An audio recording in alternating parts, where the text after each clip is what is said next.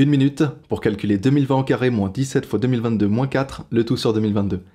Alors il y a plusieurs manières de faire ce calcul, mais je pense que la plus simple et la moins ingénieuse, c'est de voir que comme on a du 17 fois 2022, on peut découper cette fraction en deux. Donc en première partie, on va garder le 2020 au carré moins 4 sur 2022, et en deuxième partie, on va prendre le moins 17 fois 2022 sur 2022. De cette manière, dans la deuxième fraction, on peut simplifier par 2022 pour obtenir moins 17, et dans la première fraction, on va simplement écrire le 4 comme 2 au carré. Donc on obtient 2020 au carré moins 2 au carré sur 2022, moins 17.